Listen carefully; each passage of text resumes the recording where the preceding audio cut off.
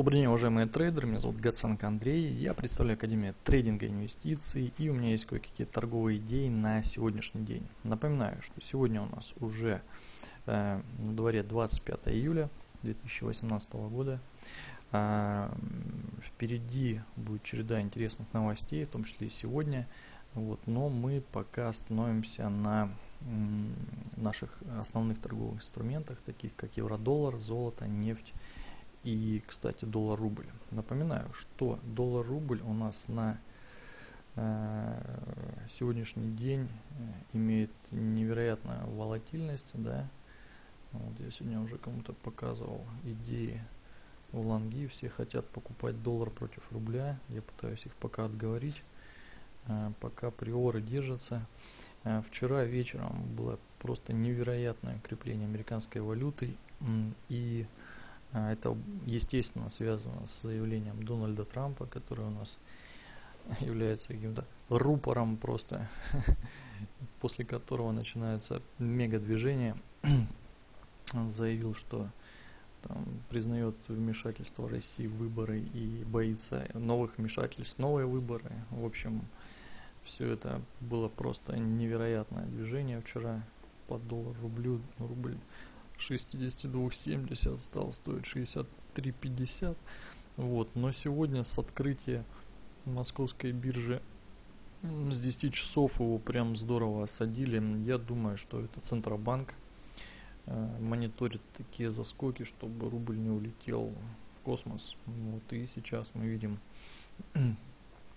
что он назад практически опять вернулся и гуляет, продолжает гулять в своем коридоре там, не знаю, 61-63, который пока всех устраивает. Но что интересно, очень многие сегодня с открытия пытались лонговать в сторону вот этого импульса, но я практически 100% уверен, что Центробанк э, Трампа как бы вот здесь осадил и не дал спекулянтам завести этот э, процесс как бы бесконтрольного роста американского доллара против рубля.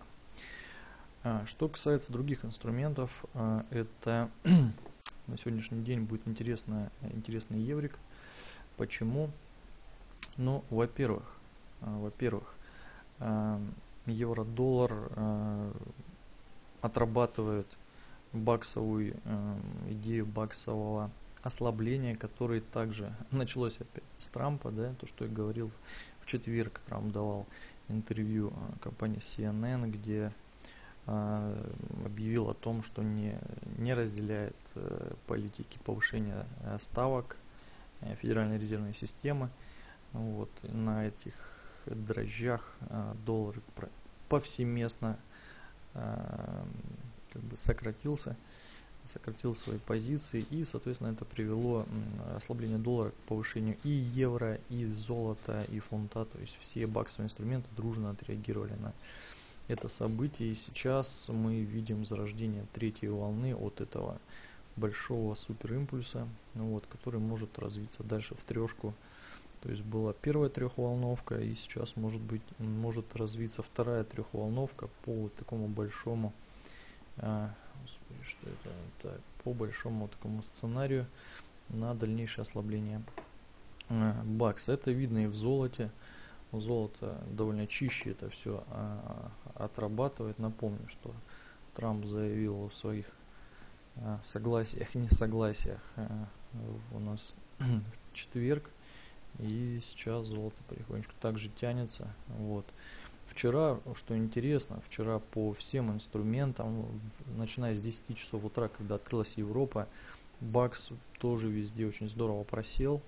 Вот, и золото выросло, и фунт, и евро, доллар тоже. То есть сейчас разыгрывается именно долларовая карта, э, и э, все валюты просто подстраиваются под него. То есть никаких там сильных новостей на данный момент там, по евро, либо по, по фунту не было, э, ну, в том числе сегодня, да. Но напоминаю, что сегодня, сегодня, так, сегодня у нас уже так, среда в четверг. У нас завтра будут э, хорошие новости по евро. так, четверг. А вот, вот они. Сейчас покажу вам. Ну, четверг, среда. Так, вот он наш четверг. Смотрите, в 14.45 ставка по депозитным средствам и решение по процентной ставке евро. Да, нулевая ставка, просто люди живут и кайфуют. Вот. Навряд ли, конечно, ее изменят, но все так говорят. Э, когда выходит ставка, всегда движение сильное. Но даже не сама ставка будет интересная, как в 15.30 наряду с новостями по Баксу будет и пресс-конференция ЕЦБ. Отфильтровать эти новости можно просто в, в этот день торгуйте только евро и все. То есть не, не лезьте в золото и будете торговать тогда чистые, чистую пресс-конференцию, которую можно будет смотреть онлайн. 15.30 будет эта новость. Я надеюсь успеть вот, на нее посмотреть. Дело в том, что э, завтра э, у нас совместный живой такой семинар, вебинар с нашим партнером компании Церих. Э, вот этот, э, вот этот анонс 26 э, июля в 19.00 секреты прибыльного трейдинга, новичка профи. Спикеры, да, будет Юлиана Сорокина, это преподаватель школы биржевого мастерства Церих, и я буду с ней тоже выступать вместе, то есть у нас будет такой совместный веб, живой, можете, кстати, прийти по адресу в Церих, Всеволожский переулок, дом 2, строение 2. Так, сейчас проверю. Это тот точный адрес. Да, это тот же адрес, метро Кропоткинская. Кто с Москвы, приезжайте. Кто не с Москвы, прилетайте. Так, э, а мы продолжаем, продолжаем анализ. ну, то есть сейчас э, ослабляется американский доллар, это видно везде, даже через, через доллар иену. Напоминаю, что Трамп выступил у нас вот здесь, да, и уже по иене идет и третья волна, и сейчас на иену просто идет мега давление. Вот, я думаю, что это все будет пробито уже сегодня, завтра. Так, сегодня, по-моему, тоже новости по американскому доллару. Давайте глянем. Так, так, так, так, так. Э, сегодня в 17.00 продажа нового жилья. Да. Если продажи выйдут слабые, доллар просто, просто провалится. И во франке это видно тоже очень здорово, особенно на таких вот таймфреймах, как 4-часовой, да и, на, и дневной ярко выраженное такое слабое бычье движение, которое уже нарушается, нарушается структура его, и фактически мы стоим на грани обвала доллара против франка. В принципе, то же самое происходит и по, по иене, то же самое происходит по золоту.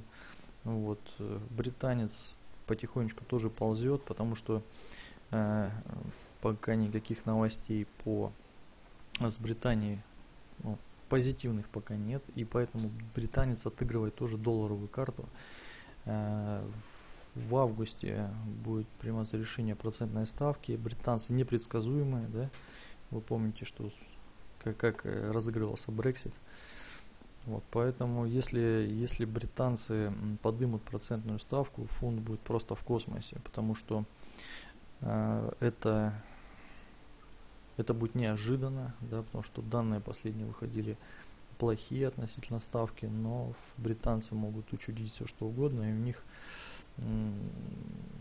изменения ставки, вот как, как минимум новости, они э, уже на начало, на начало августа стоят.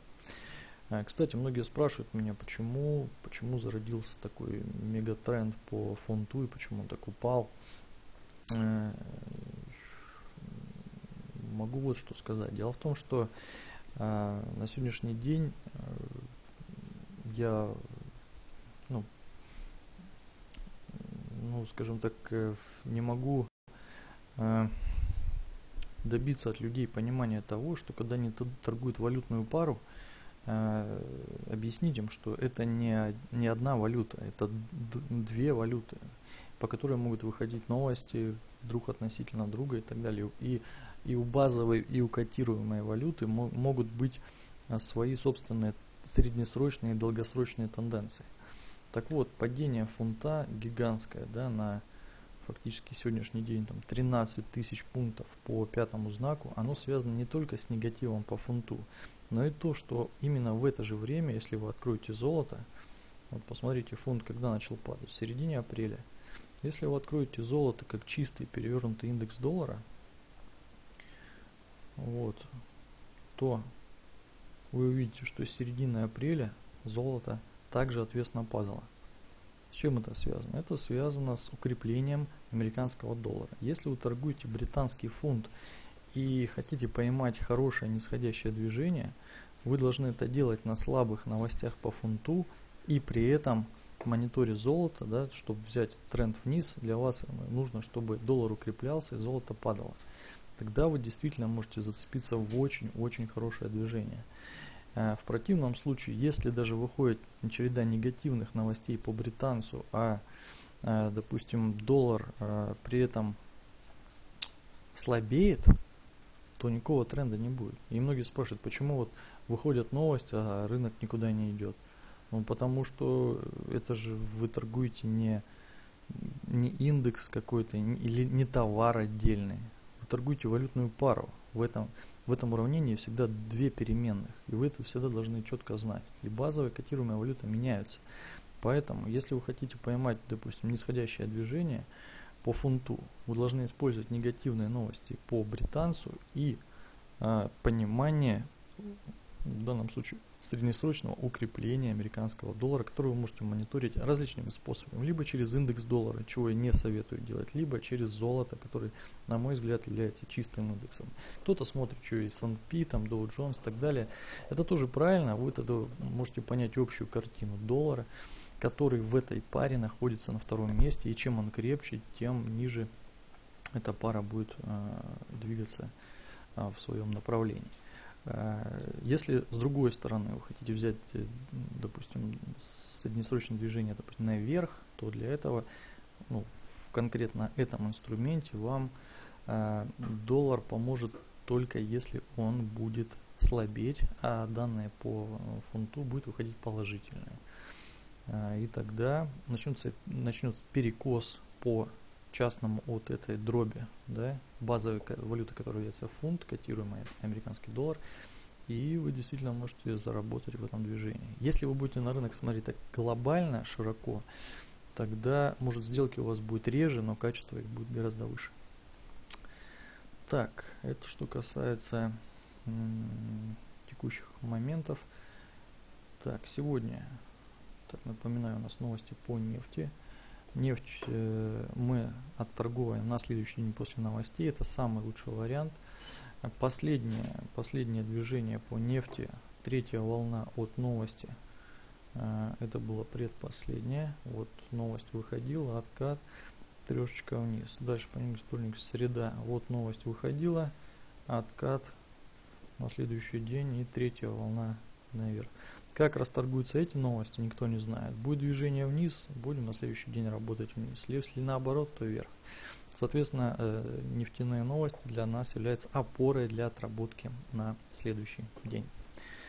Так, э, что касается новостей рассказал. Так, сегодня, да, в 17.30, сейчас уже фактически 15, осталось немного времени, подождем, посмотрим, как расторгуются. Так, это, это я показал. Да, еще напоминаю, что у нас продолжается акция «Пройди обучение, получи 500 долларов на счет фактически в управление. Э, обучение у меня по торговому методу Engie, который длится 3 недели, э, и после которого идет месяц практики. Э, после обучения у вас 500 долларов на счете, и вы можете торговать на них и выводить с них прибыль. Естественно, под моим контролем, и это делается в небольших группах. Вот, и трейдинг-чат идет на э, месяц в подарок. Это что касается моего вот этого нового курса. Так, это, кстати, у меня тут корреляции. Да, ну и, собственно, на завтра, да, напоминаю, что завтра в 19.00 э, с нашим брокером-партнером Церих проводится совместный вебинар в Церих Place. Э, желающие могут приехать на эту встречу, и э, там хороший зал, будет онлайн-трансляция и живое общение, вот доска. Вот, в общем, мы с Еленой Сорокиной вдвоем будем проводить мастер-класс по трейдингу. Вот. У них интересный спикер, будет рассказывать больше по ну, по московской бирже, как торговать акциями, я буду рассказывать про Форекс и про валютный и, э, главное, товарный рынок, то есть как торговать золото, нефть, какие особенности, как мы этому обучаем и как это все выглядит. Поэтому приходите, э, будет интересно. Вот, в 19.00 по адресу Селожский переулок, дом 2, строение 2. Вот также напоминаю, что э, в пятницу пройдет вебинар, э, как обычно, да, в 19.00, то есть послезавтра. Регистрируйтесь, ссылку тоже дам. А, если вы не с Москвы и хотите посмотреть э, и поучаствовать, кстати, в вебинаре э, с нашим брокером-партнером Церих, то вы это можете сделать по ссылке, которая будет под этим видео. То есть регистрируйтесь по ссылке, принимайте участие в этом вебинаре. Э, те, кто может приехать вживую, те, кто подключится удаленно, также отвечу на ваши вопросы. В принципе, на этом все. С вами был Гаценко Андрей, Академия трейдинга инвестиций. Всем спасибо, до завтра. Завтра утром тоже будет обзор. Э, напомню вам про все торговые идеи. И вечером э, мастер-класс с Церихом. Все, всем спасибо, до новых встреч и пока.